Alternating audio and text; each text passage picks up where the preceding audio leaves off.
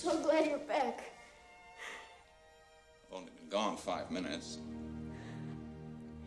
Seems like a lot longer to me. Hey, I, I thought you told me you were never going to talk to me again. Whatever I said, Dad. I'm sorry. Look, Alan. I was angry. I'm sorry, too. I'm sorry. Look, you don't have to go to Cliffside if you don't want to. Let's talk it over tomorrow, man to man. How about father to son?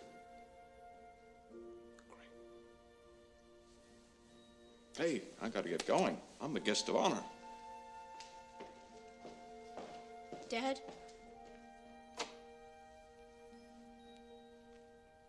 Back in 1960, I mean, today in the factory, it wasn't Carl Bentley's fault. I put the shoe on the conveyor belt. Glad you told me, son. Thanks.